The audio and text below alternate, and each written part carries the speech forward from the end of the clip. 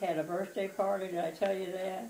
Beth McGuire? Yeah, she here, her um, mother m- married a Catholic, and uh, he was a doctor, and she had something.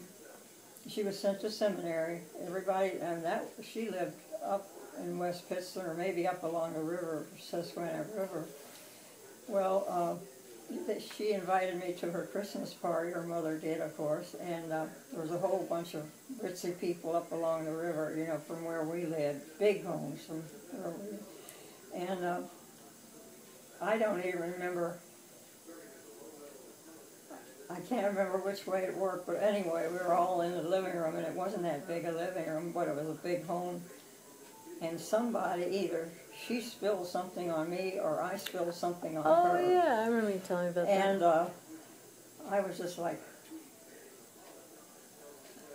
catatonic, you know. Yeah, Well, it was taken care of, yeah. and the party went on. See, she she had I don't know what she had, but it was something.